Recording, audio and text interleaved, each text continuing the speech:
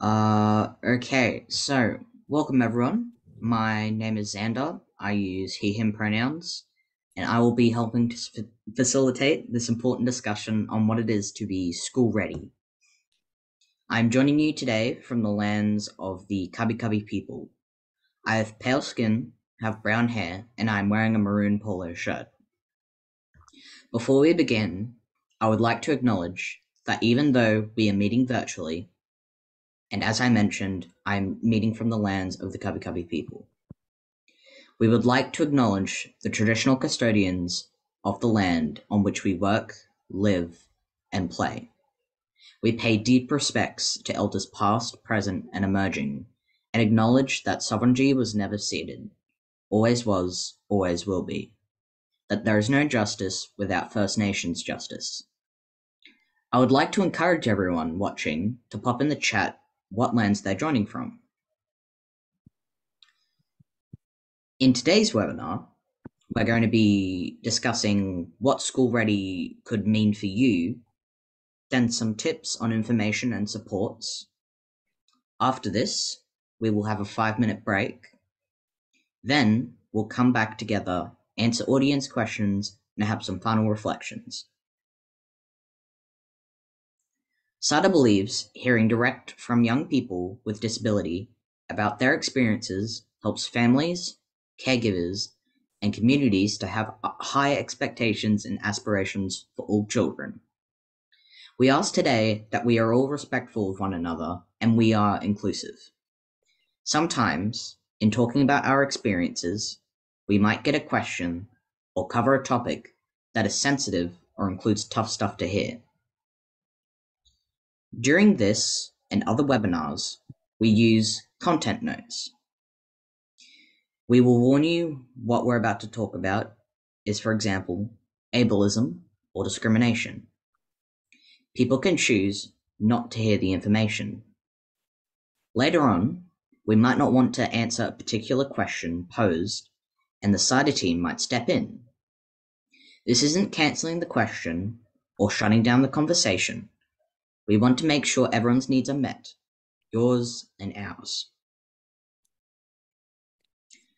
Just a reminder that if you feel this webinar brought up some difficult or uncomfortable feelings for you, to please reach out for support. You can access help by heading to the CYDA website. Um, we will put the names of these supports in the chat as well. So, each panelist will introduce themselves, but today we have with us young people, Isabel, Emily, and myself. And from the CYDA team, we have Sue and Miranda. I will now ask each panelist to introduce themselves. Each person will also share with you what is their favorite memory of early school year of their early school years. Sorry. Isabel, I think we're starting with you. Thanks, Xander. Uh, my name's Isabel. I've got pale white skin, I've got brown hair, and I'm wearing a grey top. My favourite memory of school was just meeting new people and making friends. And I enjoyed getting to do things that I wouldn't normally get to do, like playing musical instruments and doing arts and crafts. I just loved learning and loved being at school.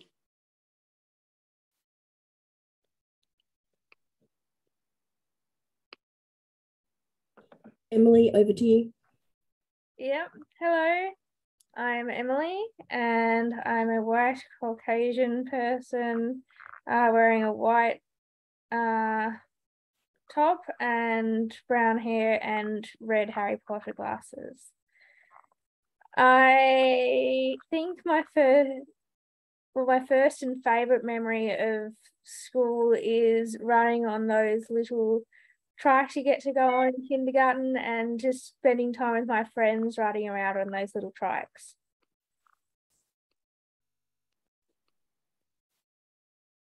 Isabel, did you share what your favourite school memory was? Or did you duck out of that one? I my cop out was that I just loved learning and loved getting to do things that I wouldn't normally get to do. Fair enough. Um, Xander, did you want to share your favourite school memory first? Um, hi everyone. Uh, just sorry, brain fart. Um, just again, um, I'm Xander. I use he, him. Um, and I think my favorite childhood, um, not childhood, school memory, um, was during the many book weeks we had. I remember one year I dressed up as Pikachu. I always loved being someone else for the day, and I thought at the time Pikachu was pretty cool because it was a mouse with electricity. Fair enough. Um, Sue speaking. So, um, hi everybody. My name is Sue Tape, and um, I'm part of the CYDA team. My pronouns are she, her. A visual description of me tonight. I am a white, slightly larger, middle-aged woman with dark, um, uninteresting hair. Sorry, feeling a little, feeling a little um, self-reflective tonight. And wearing black glasses um, and very very excited to um, hear from emily xander and isabel tonight about their thoughts and experiences of school. Um, and i'll hand over to miranda. Thanks sue. Miranda speaking. Uh, hi everyone. My name is miranda um, and my pronouns are she her and i'm calling in tonight from wurundjeri country um, I just blanked also. Sorry. this is our second webinar for tonight. Um, a, a, visual description of me. Sorry. So I've got brown hair tied up in a bun.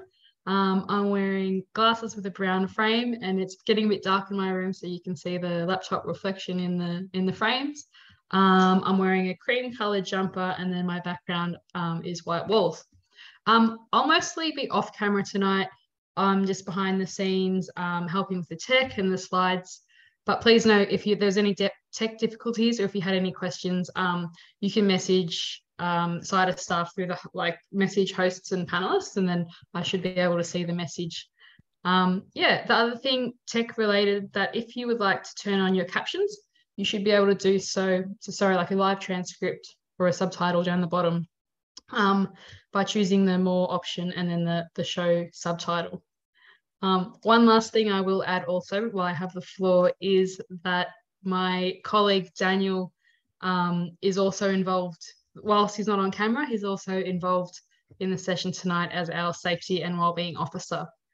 So it's um, pretty standard practice in all CYDA's webinars and workshops um, that uh, we have a safety and wellbeing officer who's aware of the content and is contactable um, for an hour after the session, but also throughout the week afterwards, in case anyone felt um, just like they wanted to talk through um, what they heard more because it left you know any feelings of discomfort. So it's there for your safety. Um, it's also there for staff safety if we wanted to talk anything through, um, if anything hit a personal nerve throughout the content. So I will be using the chat to um, post Daniel's number, but other than that, oh, I guess, oh, and my favorite childhood story. So, um, from primary school. Uh, I grew up um, in early years, like in the country. So my my first years of schooling, what I remember was playing in like endless bush, um, and our schools just didn't have boundaries that I guess suburban schools had. So I just remember making cubby houses and climbing trees and yeah, doing things that yeah, um, getting dirty all the time. And I was just yeah, have such fond memories of that. So Thanks. I'll pass back to Sue and the panelists.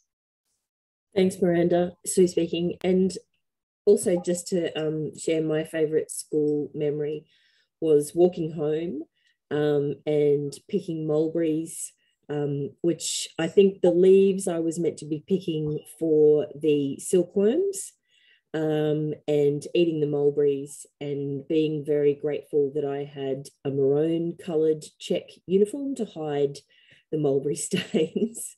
Um, so, Xander, I'll hand back to you now. Um, just some housekeeping before we begin. Uh, like um, like Miranda was saying before. Sorry, read it Sorry. the wrong way around. there's a there's a slide there's a slide of cuteness there um, so many of the young people that have been involved in the webinars over the last couple of months um, were delighted or um, dragged into sharing their um, first day of school photo. So um, if you've seen any of our other or been part of any of our other webinars, this is um, the first day of school or, or, or approximately thereabouts. So for many of us, obviously we were actually having to find physical photos, um, myself, for example. Um, and so just thought it was a nice way to recognize um, how much we've all grown up and particularly um, where our young people who've been part of this uh, these webinars have come from as well. So sorry, Xander, I'll uh, go back to you. All good. Um, as I was saying, this webinar will have Auslan interpreting, which you'll which you will be able to see on the screen alongside whoever's speaking. This session, um, like Miranda was saying before, will also have live captions. Once again, if you're not able to see them, if you go to the bottom of your screen and go to more and then do press the CC button, you should be able to turn on live captions at the bottom of your screen. Um, also, please use the Q&A function to ask your questions. The session right now is being recorded to share with others. If you're having any technical difficulties, please private message our webinar support person, Miranda, in the chat. This is webinar number five. The earlier webinars covered inclusion, identity, language, and where to start with inclusion in early childhood. We also looked at the role of early intervention in early childhood and some tips on where to start with information, supports, and funding. The next and final webinar is in October and will recap many of the key concepts. Please head to Eventbrite to register or check out CYDA's social media accounts. You can you can also access this and all previous webinars from our website under the Early Childhood issue page. I'm going to hand back to Sue now. Thanks, Xander. So this webinar, I think in September, comes at a time when there is a lot of information flying around on the internet from schools, from early childhood centres about the idea of being school ready. So we thought it was a great opportunity to have a conversation with many of our young members. So the young people that have been um, heavily involved with CYDA's um, advocacy activities and also um, obviously have very or more recent lived experience about um, the idea of school ready. So what we're going to do today is go through a couple of um, questions. So the young people have been asked to think back in time or check in with family members and to reflect on their experiences. So some will be good memories, some will be positive things, and some might be less so. Um, so it's an opportunity really to hear direct from lived experience from the young people that um, have uh, you know willing to share with us. So the first thing I wanted to ask um, each of our panelists, um, and I'll start with Emily, is when you hear the words school ready, what do you think it means? What does it mean to you? I think school readiness is about being able to be ready to be a part of the community it doesn't necessarily mean academically ready or socially ready or those kind of tick the box standards that all children are supposed to meet, which it can be quite difficult for children like us, but about ready to jump in and learn and jump in and to be a part of a bigger world than just ourselves, I think. And I think most kids do tick that box when we come of age. Fantastic. Thank you. I think also that's a good reflection for, I suppose, family members as well, because um, if it's your first child or if it's a new school, you, you're stepping into a new community for that family as well. Um, Isabel, can I throw to you next? What do the words, I mean, Emily's already set, set the tone delightfully, but what about for you? What does school ready mean to you? Thanks, Sue. I agree with Emily as well. Um, school ready to me means that you're of age to start school and nothing other than that. Um, unfortunately, there are expectations surrounding that phrase that people have put those connotations in that spot that I don't necessarily agree with. Um, for example, ticking those boxes, like Emily said, like tying your shoes, for example. I didn't know how to tie my shoes until I was eight, and I spent that long practicing and still didn't, and that didn't impact my ability to be at school. Um, and even as an adult, I still struggle to do buckles up on shoes, and that doesn't mean that I wasn't ready to to go to school. Um, so yeah. Thank you. That's great. Yeah, I suppose it's it's looking for the um, things that are meaningful um, about, as Emily said, stepping into a new world, a new community, and ready to learn. Xander, what about you? What does school ready mean to you? Um, I think to me, um, school ready means setting up everything so that the school understands all the needs of the child. Um, so like looking at all the appropriate adjustments required for them to participate like in the entire school environment, not just on an educational stance, but like on like a social stance as well, and so they can actually interact with their peers without feeling that they're isolated. So, yeah, fantastic. Well, you've set it up beautifully for me, Xander. So, um, and we're not cheating. Um, so, Miranda, can I get you to pull up slide eleven because I think um, all three of you have really kicked us off nicely. Um, what we really want you to do is to look at the idea of being school ready as being something that involves a number of people. So there's this delightful equation on the screen.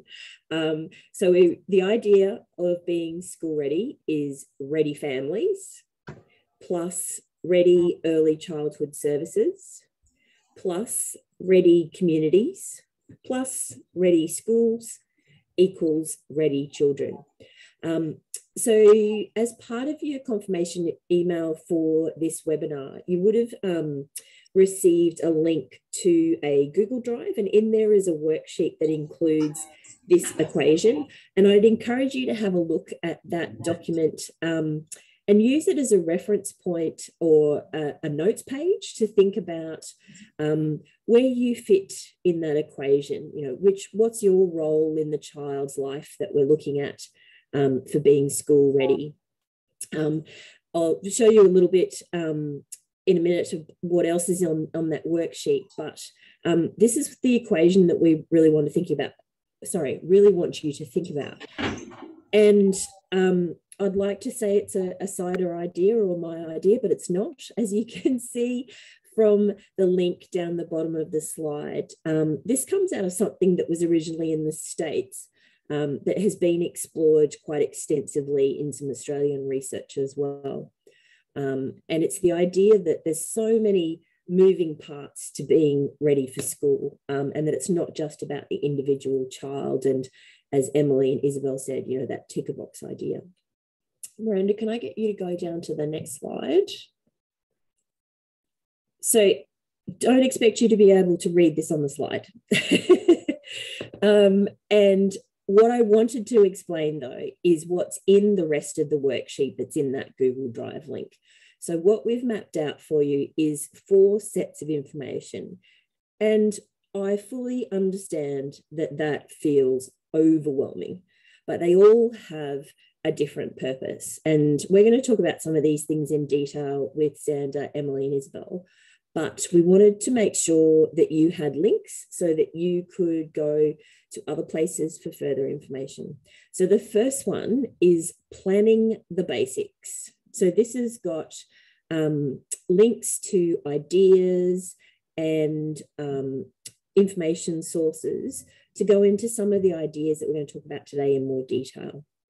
Then later on, we're going to talk about the official information. So this is going to what are the policies and the regulations and what do each of the state and territory education departments say about um, preparing for school.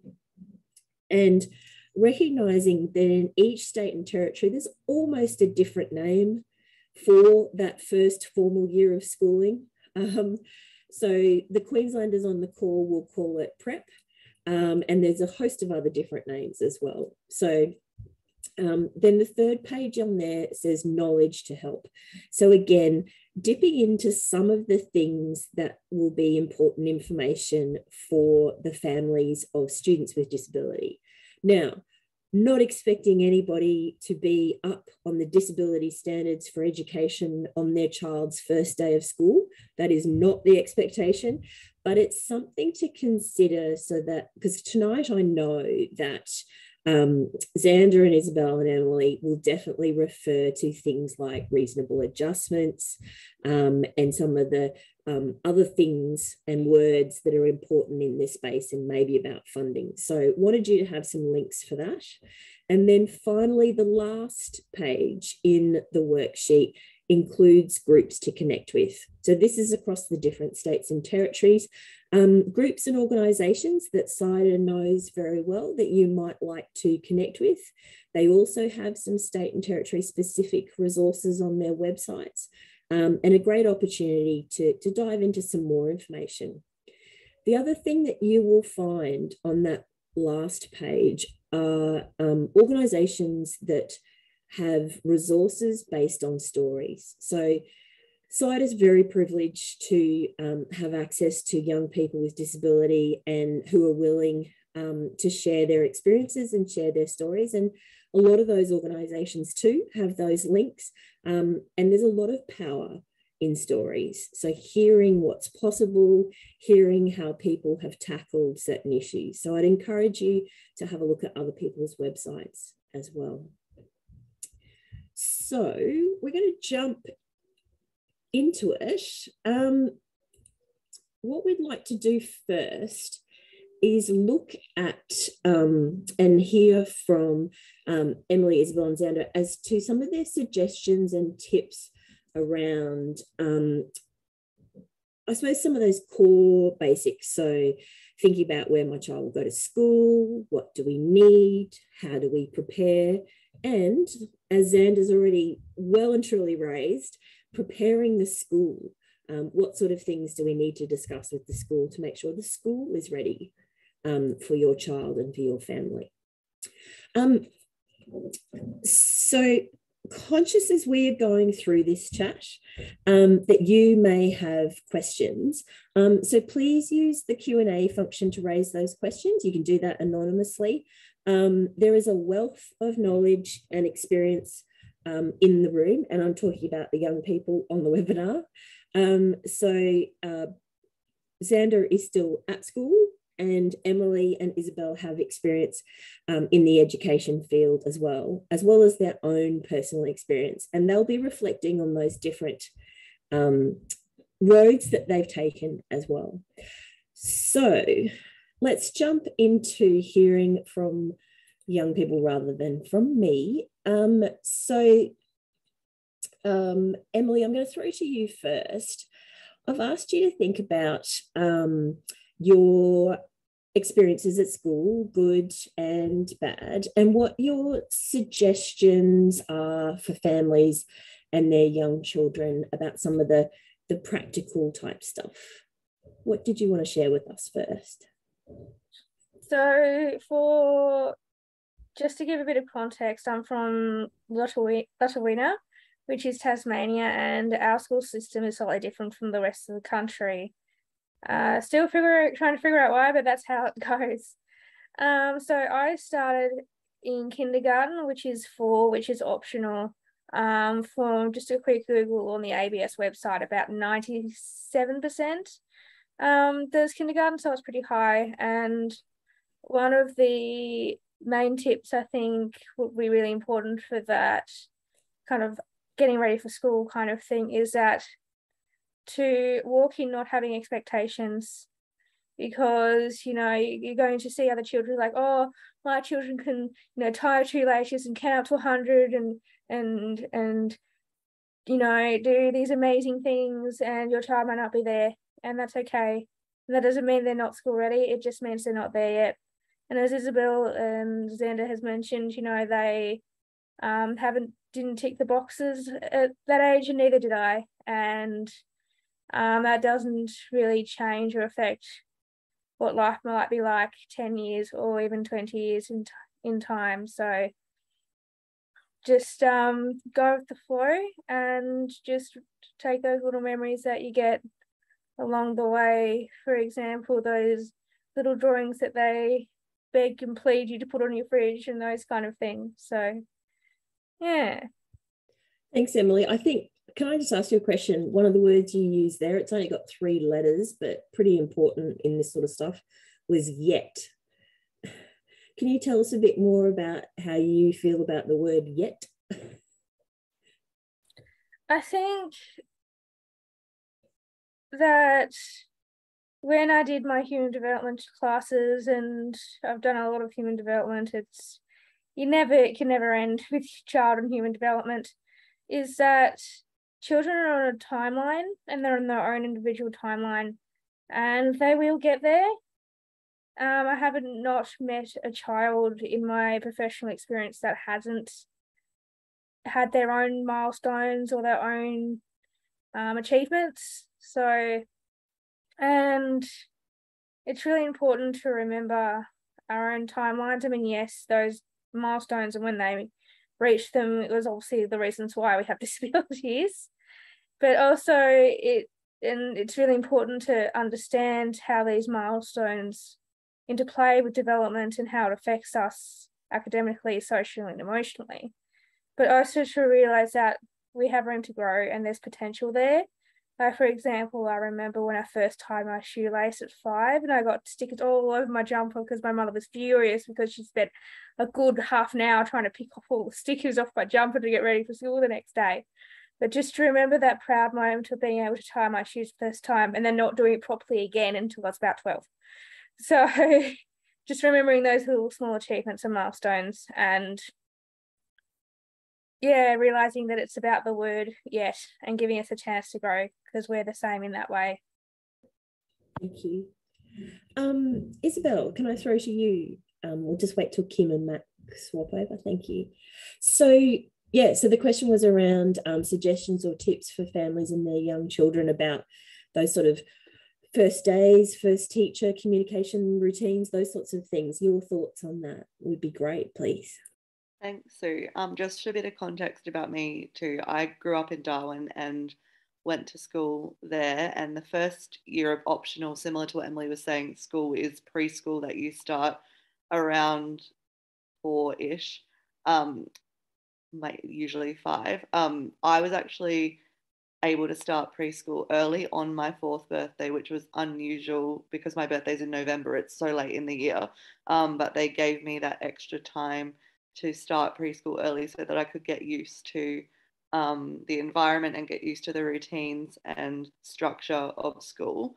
Um, and that was possible because my mum is a teacher and she communicated with the school and made it very clear what my needs were, what my limitations were, and things that the school can do to make sure that I was included in as much as I could be. Um, so, as a teacher now, that is my biggest piece of advice to parents as well. Because if I, as an educator, don't know what your child needs to be included, I can't help them, and that's all that I want to do. So, my mum used to communicate with my teachers daily. I'm sure annoying for them, but it's really important to keep that line of communication open.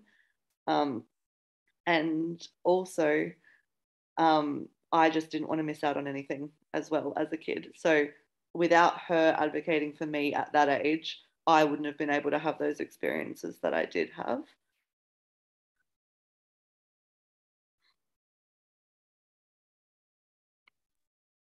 Sorry. Can you hear me? Yeah, yeah, all good. Yeah, sorry. Thank you, um, Isabel. Yeah, I think there's a couple of things in there. Obviously, lines of communication um, and being able to be clear about um, how to set you up for success is, is what I heard as well. So, Xander, sorry, last but not least, um, what about you? What, what do you think about um, when you want to make suggestions or tips for families and their young children? I think um, what's really important for families of um, young people to know is that being school ready is kind of for parents to be proactive and don't assume that your child's needs have been understood or communicated to all of the staff. Uh, you can be proactive by communicating clearly via regular emails. Not to say that it's a criticism to parents saying that it's all in their hands because if the educate the educate both the educators and the parents have to take the time to have good communication so what's best for the child is communicated. Because um, that's one of the uh, more, more annoying things that happened in um, my primary school years is there wasn't there was communication between um, us and the support staff but there was no communication between the support staff and the teacher. They were always disconnected and that communication establishing that communication before school even begins and keeping that regular i i think that's one of the most important things for being quote unquote school ready.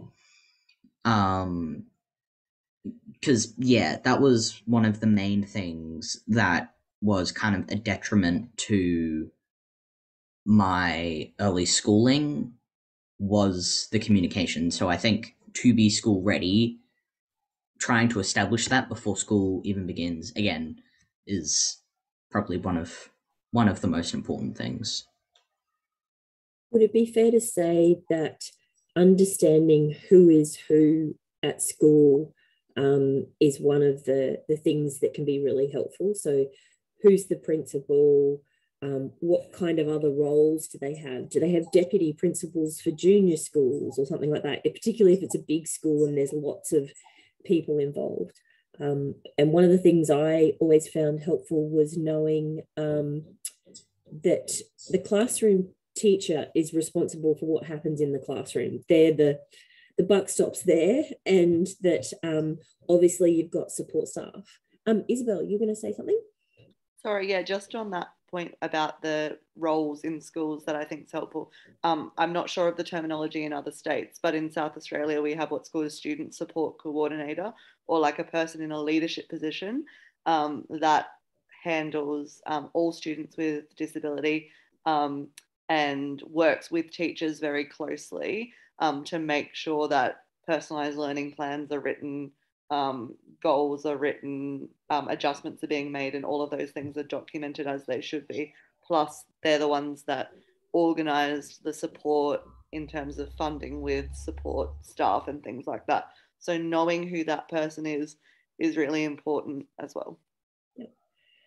And my um, very clinical and cynical analysis sometimes is understanding who has to do the paperwork, who makes the decision about spending money or sending staff out for training or bringing training in, and then also understanding who manages the people. So, who supports the classroom teacher to be effective, who supports the you know teacher aide or learning support or, or other people involved and yes. to understand then if there are challenges in that communication um, how do you raise issues without um, annoying or ticking other people off. Um, but just just understanding and, and knowing who's who mm. and feeling comfortable to talk to them. Yeah it's oh, I, I had a thing i was going to say and then i forgot. Um it's I, I don't know it may have just been a thing with my school um but again there was the person who was supposed to be corresponding with like the teacher to make sure things were being done in terms of like adjustments and whatever. Um but they were always on different wavelengths and that either one of them was super busy and one of them wanted to talk or one of them was super busy with like marking for example. And I I don't know whether they just didn't have the time, which they they may have not had the time, but still, it's yeah, it it was really weird because you'd think the person that's allocated to have that communication with the teacher would both of them would be able to have the time to communicate that but for some reason there was just a disconnect for a good like five years so yeah. I think um one of the things i found really useful as a as a parent was um knowing what other parents i could ask questions of to mm. sort of find out how to approach those kinds of issues. Um, so um, conscious that that that can be challenging if you um, are a full-time working parent and you don't have that opportunity to connect, you know, physically at the school. Um, or if it's a different sort of school where they don't encourage parents to step foot on the premises. Um, I know that that happens in some schools, particularly around COVID stuff. So um, I um, connected with the family that had five children already at the school because I sensed that they were all five very different children and, and that that parent would have some real insights as to how the school worked. Emily. Uh, just things to add to what everyone else has been saying is a part of, I think, really important part of school readiness is for the parents to understand the process. Because even in my experiences because I'm in the Catholic education system here in Tasmania, which I primarily work with. And each section, like um, public, Catholic, and independent, have all have different processes. No, I have different um, ways of how to go around things. Like some may encourage you to talk to teacher aides, um, some less so. So if you're feeling a bit frustrated, the processes are there for a reason. And the other main thing I wanted to point out is make sure you do know the processes and do you do know how to kick up a fuss when you need to. Um, I'm sure Miranda will be more than happy to pop into the chat about the relevant depart public department in your state that will be relevant to know who to contact um, when things go wrong, because unfortunately they can. So that's just my recommendation. Yeah, and it's on the on the worksheet as well. Um, but also, um, the Australian Disability Legal Centre did a fantastic resource, which actually has some free training with it as well. And that there's a link to that in the worksheet, which is basically that you know when things go wrong or things aren't working, how do I tackle these issues? Um, and Miranda's also put in the chat, hot off the press today um, are some new resources for families, young people, educators um, about the disability standards for education. So there is a lot in there. Um, and they've been co-designed with young people and families with children with disability. Um, so there's a lot of information and there's a lot of helpful sort of um, workbooks and things like that. Um, but it's something that you can keep coming back to as um, as things progress so we might move on if that's all right. I know we've talked a lot about information already, but that's where we're going next. Um, so um, if you look back, and I'll go to Emily first. Um, thinking about the official information, and we've kind of touched on this as well, getting to know um, your system that you're going to be in, um, what's the official story what's the policies that are on websites. And those official stories have a couple of levels. There's obviously the system, so to speak. So is it a government school? Is it a Catholic school, independent school? And then looking on the website for the actual place where your child will go to school. Um, and then the other thing is um, looking at some of the things on the worksheet and also getting information about the school and the community around it as well. Because remembering that the school experience um, is more than just what happens in the classroom. Um, there's before and after school care to navigate. There's um, getting to and from school. How do those um, buses or parking or no parking um, work? So lots of things that you can find out um, how it all works behind the scenes. so I'll throw to you first, Emily. What information do you wish your family had access to, or what do you think would be most helpful um, ahead of being school ready? Oh, that's a bit of a tough question because in a lot of ways I was a very privileged child from dad in education and mum in health, so they kind of know who to talk to. Um, but I think in terms of the whole family, I think it's really important to um, look at me as a child because I had an older brother who was already in the system a good 12 months before me. And there was a lot of times growing up where, yes, it was beneficial to have teachers back to back, where my brother, say, would have X teacher and then I would have ex teacher, And that was a really good progression for me. However, it's really important to differentiate that my brother is a different child and I'm a different child. And to remember that to ensure the teachers have the resources to deal with me specifically.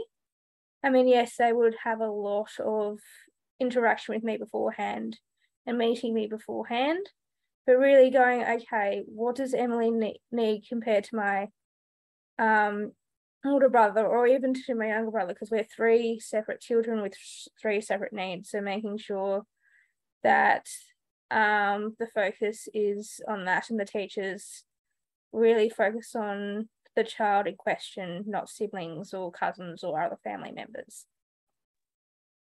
Absolutely. Thank you. Isabel, how about you from an information perspective? What what are your tips?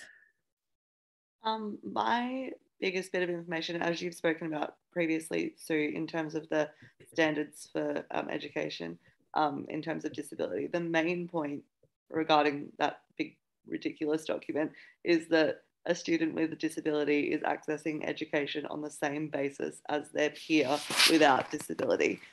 That doesn't mean that they're not doing different things. Like, in my opinion, a person with a disability needs to have the same goal as their same age peer sitting next to them.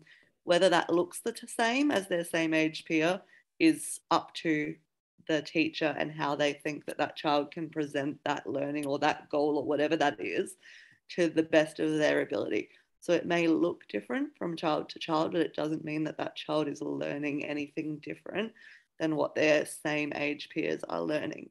Yes, they might need to focus on some different things that other children might not need to focus on.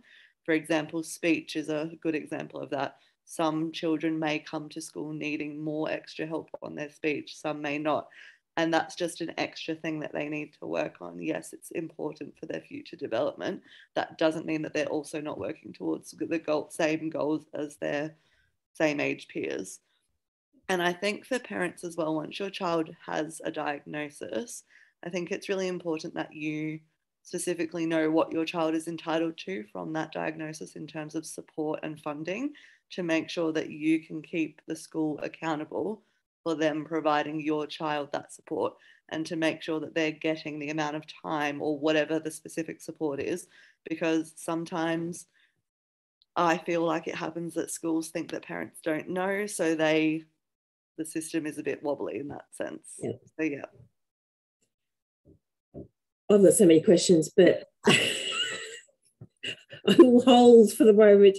Um, Xander, information. What what um, you're a little bit closer to uh, remembering, and uh, your mum is probably a little bit closer to remembering as well. But what sort of information um, do you wish or, or, or promote as people should have access to? Well, because I was um, a child at the time when majority of um, kind of um, school ready problems were happening, um, I kind of took my mum's perspective um, and asked her about it. And she she kind of just said she wished that she didn't feel so lost trying to find information and second guessing if um, they were being too difficult asking too much of the school.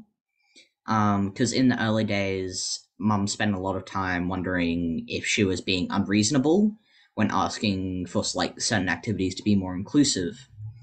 Um, it actually took her quite a long time to um, find the dis- disability standards for education, which have been mentioned a million times. Um, but when she just even glanced over those, it gave her the confidence to be like, I, I can push for the things that my child needs. It's it's not inconvenient. I'm allowed to do this.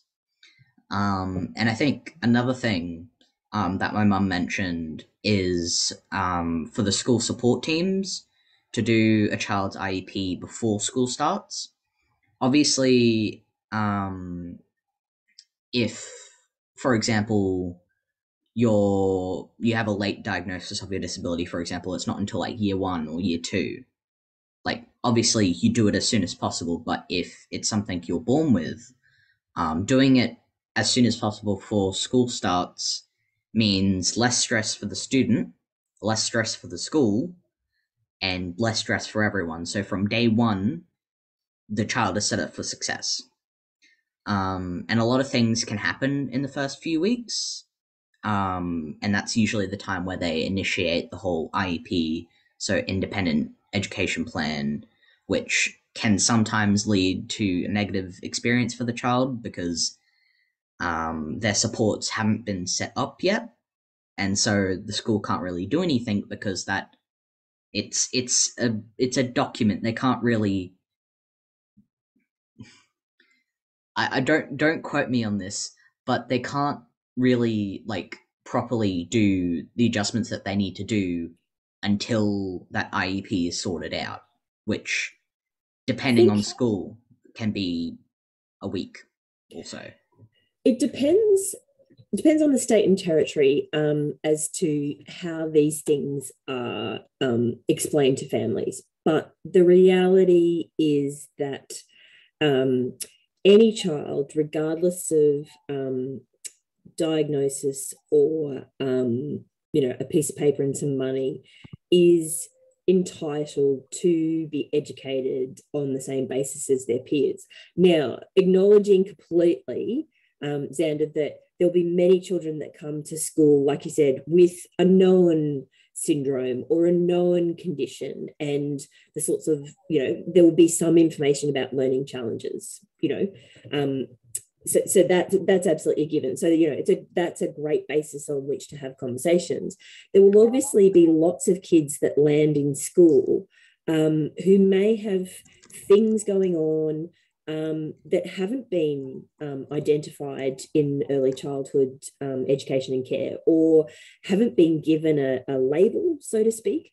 And they're things that may they may only uncover um, as they progress through the first couple of weeks, first couple of months, first couple of years. Um, things like dyslexia isn't something that sort of stands out um, up front, you know, on the first day of school sort of thing. It's, it's really that progressive discovery of challenges, etc.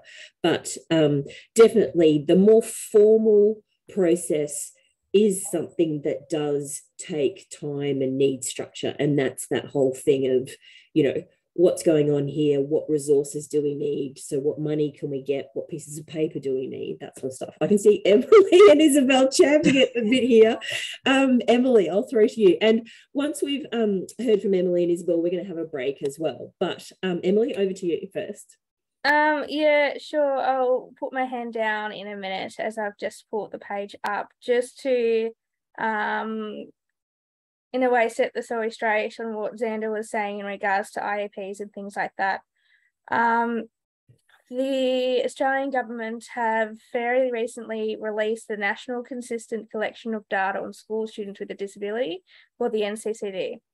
It's a requirement for everybody in the school, from teacher aides, students to the principal, to collect data on the needs of the student and put them through a bit of a uh, a bit of a spectrum on from uh, if there's specific words, but for ease of act, ease to understand, from mild to extreme. And these need to be picked up well and truly before an IEP is in, IEP is in place to ensure funding can start rolling. Of course, this will take time and diagnosis does help, but the National Consistent of Data is, um, is a resource that we are using and it is I well, from what I believe better than what we've had when I was a little five year old going through the system myself. Absolutely. Um, Isabel. Thanks. Uh, just off of what Emily just said as well, the NCCD is good because it doesn't take diagnosis into account. When, when a child needs an adjustment made for them, diagnosis or not, we do an NCCD for them to do- document that information so that the government knows um, what adjustments are being made for every child, regardless of diagnosis. And I was just going to say, in terms of students that I work with, I have lots of kids, I teach year twos this year, and lots of kids that I work with do not have formal diagnosis, but I make adjustments for. Um, and I we have a process that I put in referrals for when I think that things are not traveling as they should. And once kids get, once the referral's gone through and once they're on the list for the child development unit to actually get assessed, and then I complete all of that information, that waiting list is over a year long at the moment. So, just in terms of timelines, it's just a really long process. And that doesn't, even though at that, at that point they don't have a IEP, that doesn't mean that adjustments aren't being made for them in the classroom.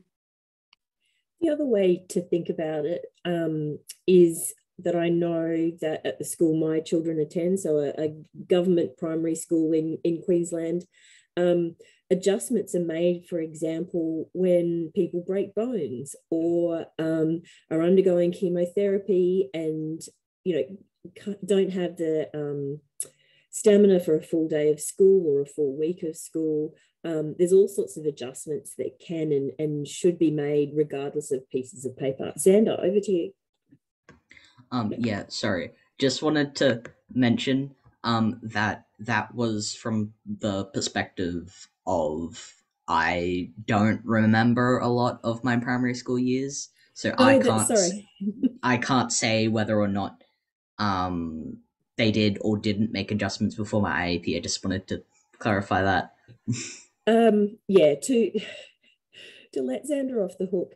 Um, unfortunately, there has been um, a fair bit of feedback to CYDA and, and to other organisations um, uh, in a particular state um, that uh, often schools would defer the delivery of adjustments by saying that they needed to wait for things like verification and funding and things like that. Um, but I suppose what um, I think what we're all saying, Xander included, sorry, is that um, those processes should not get in the way of the conversations that need to happen and the adjustments that potentially need to be made because there's so many adjustments that classroom teachers do instinctively and um, you know based on their training regardless of what the disability or the learning need is um, so yeah absolutely so what we might do, it is 7.55 Australian Eastern Standard Time. We're going to take a five minute break. So we'll be back just after 8 p.m. Um, we're going to turn off cameras and microphones and all that sort of stuff um, and have a think about questions that you might have for our lovely presenters. And we'll speak to you soon.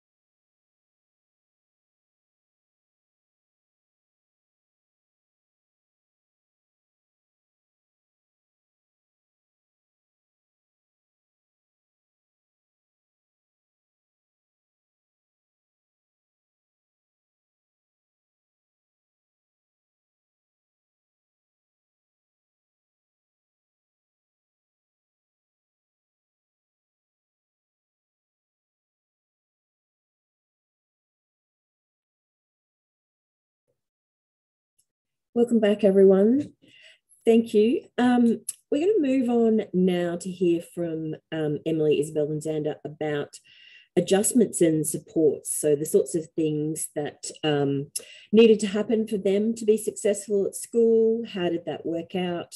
Um, and I, I, know we've touched on some of those things already, but it'd be great um, to jump into that a little bit more. So I'll go to you first, Emily. Um, and keen to hear from you, yeah, about um, supports and adjustments and what was successful for you.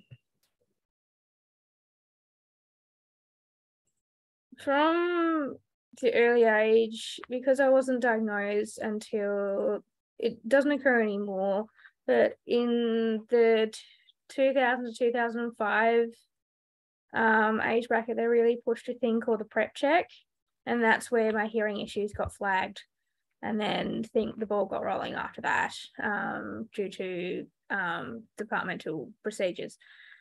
But I think what's the most important things is to remember yes, there's policies and procedures in place, but remember we're little people and little people aren't the best behaved creatures at the best of times, let alone kids with additional needs. So I think one of the best um, adjustments that we had from what I remember as a kid was the fire alarm. And it and it got to the point where I was obviously having meltdowns and I just wouldn't learn for the rest of the day and yeah, it wasn't good. That the adjustment was put in place that if they were doing a test fire alarm, I would be told that day that there will be a test fire alarm.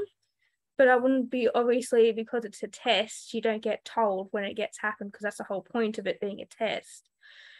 Is that I get told that it's happening, say, okay, it's happening on Friday, and then it's Friday, yep, it's happening today, but I don't get told when. And then when it happens, I'm already prepared, already have my strategies put in place to ensure that I can get out there. Um, not as stimulated and also prepared mentally and able to do what I needed to do um, and learn how to cope in those environments much better than I would, would be able to. And it's one of those things that I suppose families can give schools an insight um, at, a, at a general level. You know, big changes in routine or um, overwhelming sensory input can be destabilizing. So I suppose those sort of general things and experiences and examples is something that they can share with school um, and help them manage that input as well. Um, Isabel, can I throw to you around adjustments and supports? Thanks, Sue. Um, a lot of my adjustments were around um, physical activity just because um, that's the nature of my disability. When I first started preschool, um, specifically, I had a lot of support, you know, climbing on the playground, um, getting onto swings, getting upstairs. Stairs are still an issue for me. I can't do stairs without a rail. Um, so that was actually something that they had to adjust physically at the school. There just wasn't adequate railing that I could use. Um, and there was also another student um, in a wheelchair part time that had come the year after me. So the school actually had to change, like they had to put ramps in and things. That was obviously something that went through, again, the disability standards as well, because that was impacting her ability to access the building. So that was something that was done for her as well. Um, things that like Emily was speaking about before that she had trikes at her prep that was like where they got to ride and sit. I when I started preschool was only allowed to sit um, as a passenger, but then by the end of the year I was able to actually ride the trike by myself. So that was a really big thing for me to be able to do. But without that adjustment and support from adults, I wouldn't have been able to do that. I think it's fair to say that um, schools are one of the most risk adverse places that you'll encounter. and that there's I risk- did a lot of falling over. Like that was just something that I did. And it worried my mum every day. I would come home with some other injury that I had done. And like as a parent, I can see that that is completely terrifying that you're sending your kid off to school and they've come back battered and bruised. Um, but and me more than an, another child, I was more battered and bruised than other children. But I that for me taught me what my limits were. And if I didn't experience those things as a young child, I wouldn't have the ability now to be as self aware as I am around my body and my limitations because now I'm able to, to, prevent myself from being injured because I know what my limitations are. And I feel like if I was a child and didn't take those risks, I wouldn't be able to tell that stuff. Um, I was um, just going to add um, that one thing um, schools do a lot of risk planning, obviously, um, and um, a lot of sort of form filling and discussions about risk, etc. Um, something I've found that is often a missing link is actually talking to the child about the risk, and that I've signed many risk assessment forms for the child, but clearly she hasn't read them or signed them, so they need to be communicating with her um, as well. Um, and yeah, so Xander and Emily and, and others are adding in the chat as well. Um, yes, so Xander, I'll throw to you, sorry now, around supports and adjustments. Yeah, um, at school in um, primary school specifically, because that was kind of like the testing grounds for everything. Um, I was set up with a slope board, um, which was originally designed for my writing and I was also given like thick pencils that were designed for poor, um, poor fine motor skills. Um, I also had these weird scissor things that you could like put like your whole hand into rather than having to like however you use scissors. I don't know how to use proper scissors. Um, this was uh, eventually changed to the use of a keyboard as um, as as many times as they tried to get me to write, I couldn't write without subluxing my fingers. Um, uh, also, um, later on in year five and year six, I was also assigned a teacher aide um, that would help me because we had an elective where we could do like cooking and stuff, and I really wanted to do that, obviously. So to be able to do that, um, a teacher aide did it with me, and that that that was really fun. Um, and kind of kind of just a thing that came to mind um like now for example um not not only am i disabled but i'm also a trans man. So um i'm currently on medically prescribed testosterone so my hormone levels are going rural um and part of ehlers-danlos which is my disability is it's kind of like the autonomic system. Um, I don't know how to describe it, but it's basically the thing that regulates like your auditory, um, like hearing and perception and like smell and everything like that. Um, so basically, um, being on prescribed testosterone, that that usual flare just goes like through the roof.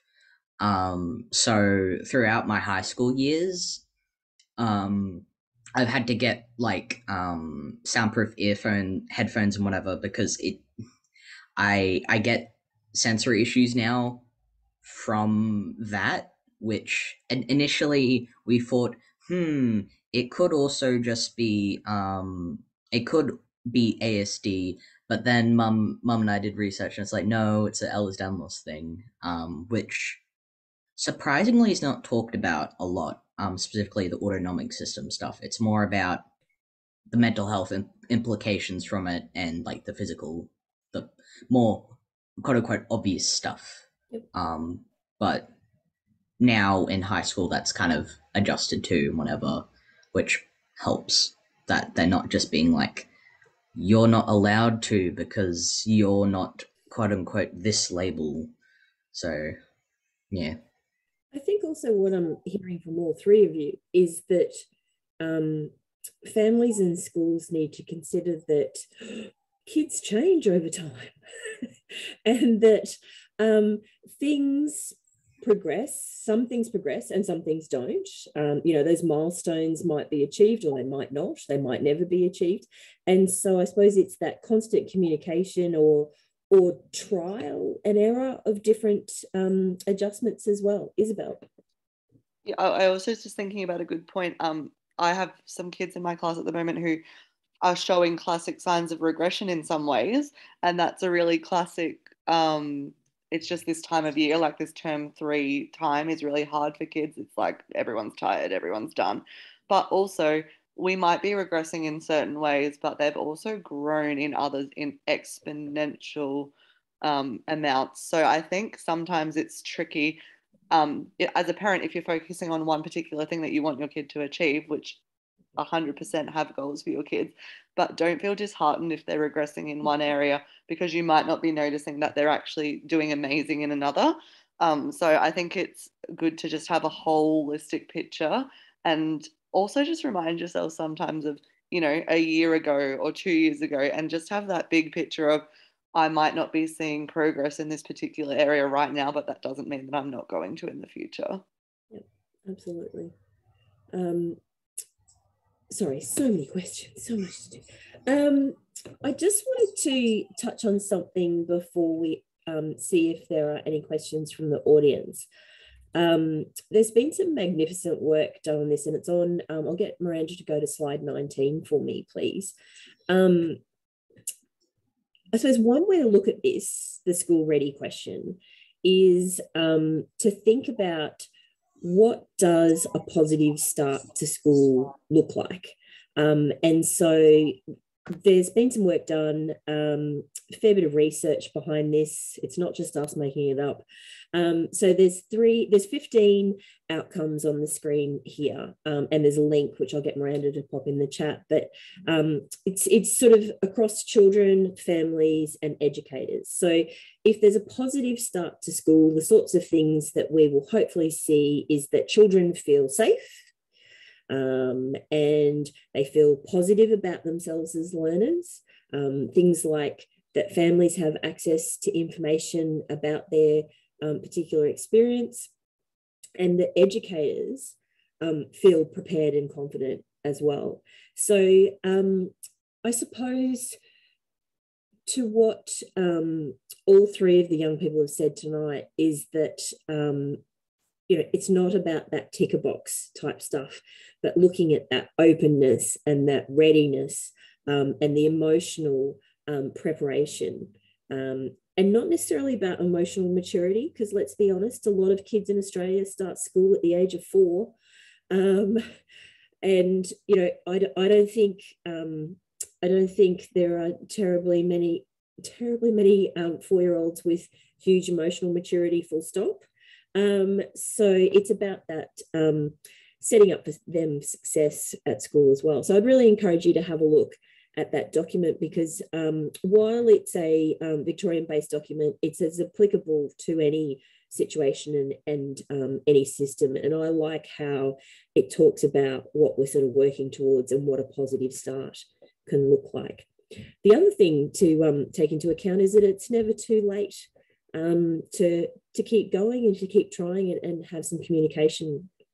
Um, so uh, before we wrap up this evening, I suppose throwing it open to the audience if there's any questions. Um, and if there's not, I will get each of the young people this evening to have some final reflections on what they would like um, families or um, families of young children or educators to take away from our session today? What are the things that you really want them to hear? Um, so we'll turn off the slides just now. And then Emily, can I get you to go first on your final reflections, please?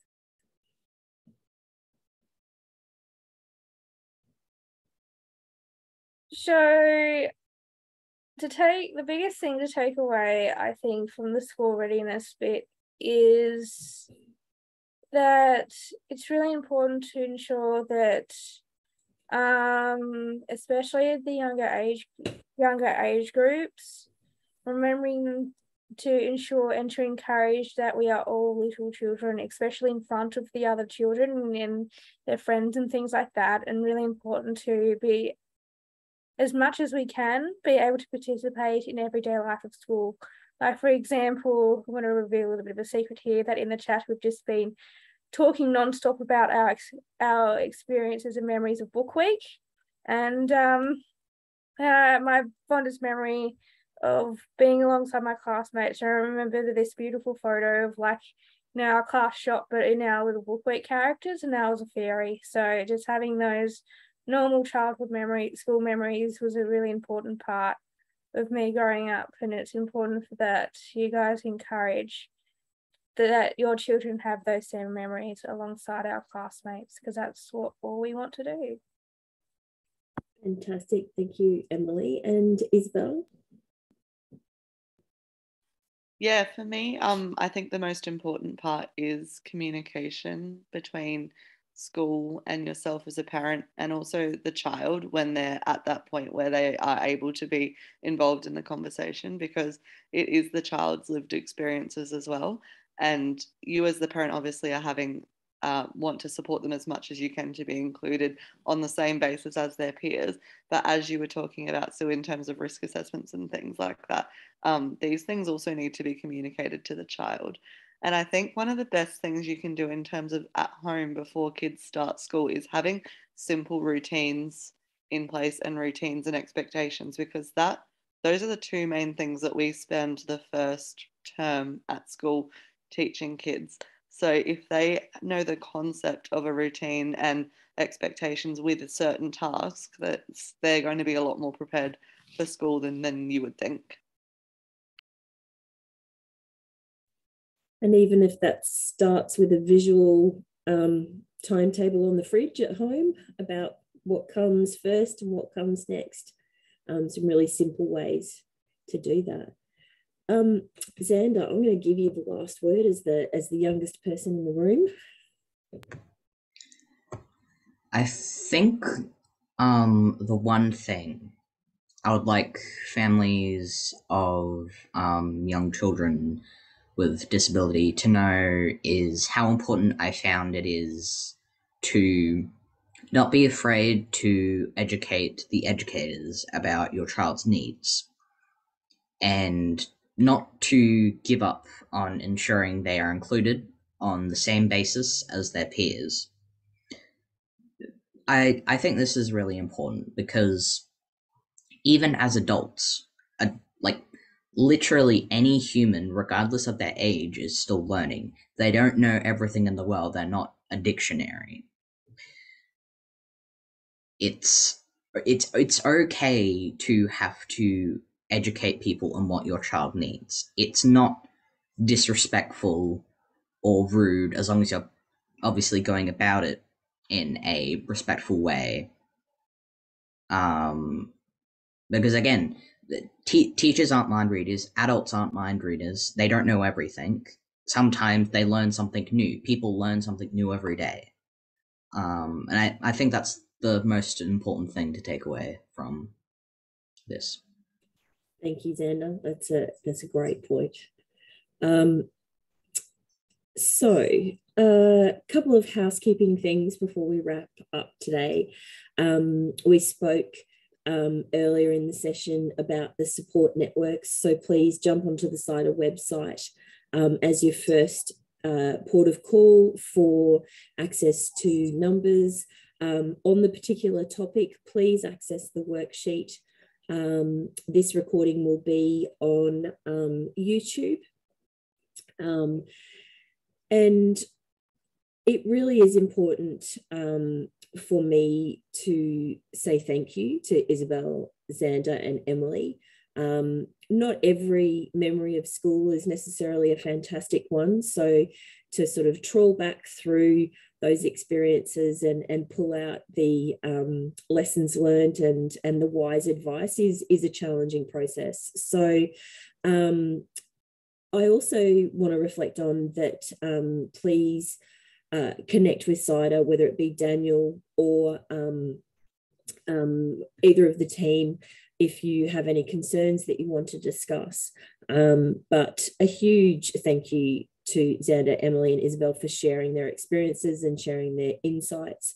Um, we've all worked together on these webinars a fair bit over the last couple of months. Um, and I know that Miranda and I have just been blown away by how much we have learnt um, from being part of this experience um, and how much value um, that having young people as part of these discussions adds to the overall experience. So thank you.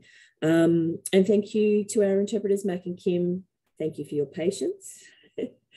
um, and yeah, final thank you. So Miranda's popped in the chat Daniel's number if anyone would like to um, connect. Please take care um, and we'll speak to you all soon. Thank you very much.